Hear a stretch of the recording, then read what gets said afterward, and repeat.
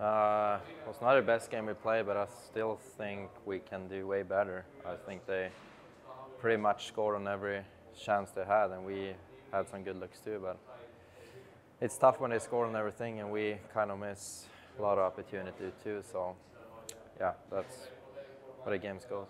Earlier, coach said that even when you guys went down, he still felt like there was a good chance you guys would claw your way back into it. What was the message when it was a few goals down, uh, head towards the end of the first there?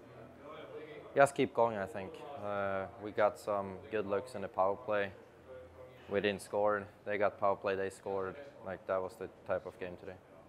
Kind of a new line for you with and, and Will. What do you think you guys could do in this league? Lots of speed, some NHL games for all three of you guys. What do you think that line could be like? I think we started pretty good. Uh, obviously, we had some unlucky there on a couple of goals against, but I think we started good. And yeah, uh, two really good forwards. I play with a lot of speed, so uh, yeah.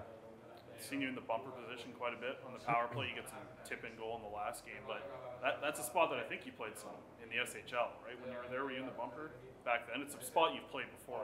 Yeah, I've been playing almost everywhere except play point, so Yeah. I've been playing there before, so I feel comfortable in there.